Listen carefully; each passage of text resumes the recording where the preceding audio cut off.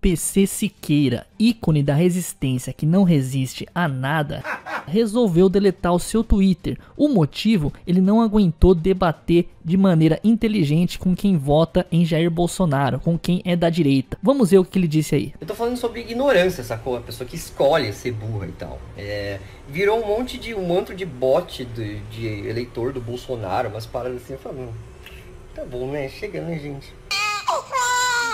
O ícone da esquerda também disse que agora vai começar a falar sobre o exílio político de Jean Willis e também a prisão política de Lula, mas não no Twitter, por causa que lá ele foi refutado. Falar sobre o exílio político do, do Jean Willis, sobre a prisão política do Lula e, mano, não vai acabar não. Ué, ele fala que não vai acabar, mas já até deletou a conta, né? Estranho.